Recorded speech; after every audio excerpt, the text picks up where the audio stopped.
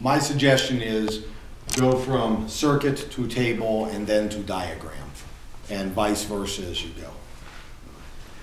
Um, So in this case, I've got two different flip-flops labeled one and two. And I've got one input. So how many state bits do I have?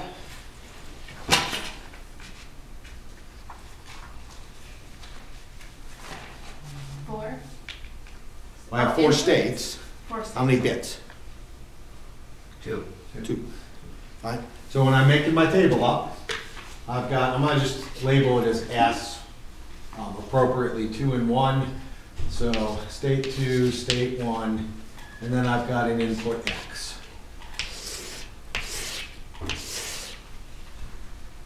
So I've got state zero, zero, state zero, one, state one, zero, state one, one. Zero, one, zero, one, zero, one, zero, one. Uh, So this is my current state two and state one, and then I also need to get my next one. So I'll put a little N in front of them to indicate next version of the state, and I need an output Y. Do you care to pull up a chair right there so I can make sure? I could care less. You could all sit on the carpet if you wanted. that good, Alright. Do we all feel good so far? How far does your camera reach? I don't wanna walk out of your but- drawing Oh, board that's why outside I'm moving. I'll keep moving Oh, it around. Alright. We feel okay with how we've set the table up and why we set the table up. So all we're going to do is now make these assumptions that these are the current states. We'll start with zero, zero. So we're saying this is zero and this is zero. Clear. So that means these are both ones because it's the prime version. And first off, we're saying our input here is zero, which means just carrying the wires around, that's a zero, this is a zero, this is a one. Um, This is a zero here, this is a zero, zero, one, right. And then we just work through it and see what happens. Now, temporarily, I'm gonna figure out what J and K is. So I'm gonna slightly add on, just kind of like a little scratch column for myself of what is J and what is K. And then we're gonna have to use what we know about JK flip-flops to determine what the next state is. Okay, so I've got zero exclusive or zero, which gives me zero XOR zero. XOR only gives you a one if they're different. That's the whole thing, odd numbers. So they're both the same, so it's zero.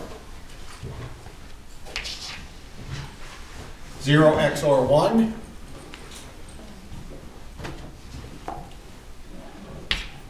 One. So I've got a one here. Zero negated. One. All right, so first I have to calculate this OR. Zero or one. One. I mean, You're trust me, it's nine o'clock in the morning and you're all seated. And if, if I just walk up here and start reading numbers off and saying this is this, all of you are gonna be like this in like five minutes. And it will do you no good. At least if you're trying to answer them, you'll- probably last a good fifteen minutes before conking out.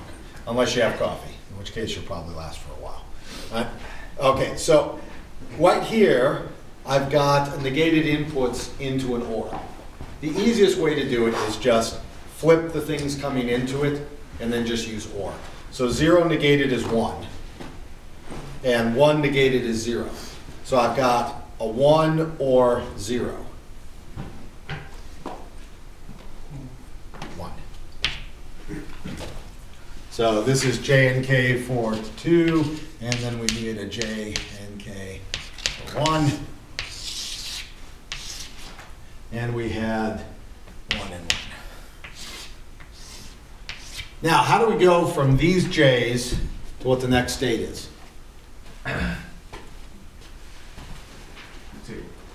Which table? There's two tables for every flip-flop. There's a characteristic table, and there's the excitation table. Excitation table. Yes, because excitation tables let you build things, and that's much more exciting. Right? That's stupid, but it's memorable. So, J, K, S, zero, zero, one, zero, one. Right? When it's, they're both zero, it means stay the same. Right, so my next state is my current state. Right, so we think of these as set and reset. So if I'm resetting, I go to zero. If I'm setting, I go to one. And if they're both ones, I toggle. So we have every type of flip-flop in here. In the middle, you got a D flip-flop. As we go, um, if you consider the upper three, you've got an SR flip-flop. If you can take the outside ones, you've got a T flip-flop. It's every flip-flop you ever wanted. All right, so we look at what we've got for JK. For the first one, I have a zero, one. So what's gonna happen to state two, because it's zero, one? Look on the table, zero, one to- says my next state is Zero. zero. Then I've got a one, one, right? Which tells it it's going to be One. one because it's the prime of this. There we go. And we still have zero, XOR zero, so my Y is Zero. zero. Okay, so I filled in the first line. And now I come in and I flip X to one.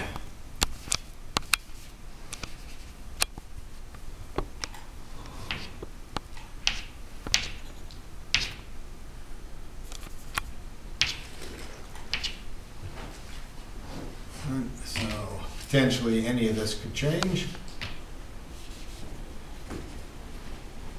All right, zero XOR one is? One. One XOR one is? Zero. Zero. So I've got a one, zero for the next one, which one, zero tells me one. Okay, one negated, Zero. Zero. Alright, um, one or one is one. So one negated is zero, one negated is zero or zero Zero. is zero. So I got two zeros. Which means Nothing happens. stay the same. Yeah. Yeah. And right now it's a Zero. Zero. My outputs are still both zero. Right? So it's zero XOR zero, it's still zero. Yeah. The question for this is to figure out what y is in and or just create the table. Um, we have to create the diagram. And I said it's easier to go from the circuit to the table, table to the diagram. Okay. All right, good so far?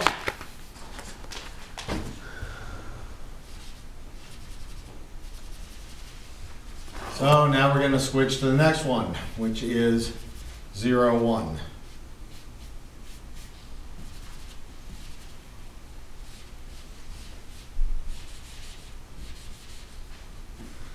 Now, we'll try to speed this up a little bit. right? We've done a few of these. Hopefully you guys are thinking about what we have to do in this case. Can you tell me in advance, is this Mealy or Moore? I'm looking at this diagram. Moore. Can you explain why, how you know that? Um,